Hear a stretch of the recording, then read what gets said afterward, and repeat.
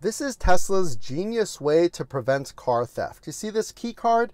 This is how you unlock a Tesla. You put it up to your window just like that, and to start the vehicle, you put it right here. But let's say I drop it and you find it in the parking lot and you want to start and steal my Tesla. You put it right here and you go to drive.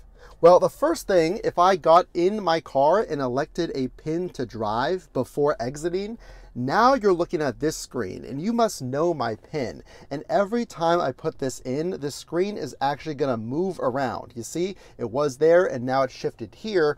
And that's a genius way that Tesla prevents theft because you can't guess where my fingerprints are on the screen because it moves around every single time. Now it's shifted downward. So what do you think? Even if you find a Tesla key card lying on the ground, let's say someone drops it, you can't even steal a Tesla. Pretty smart.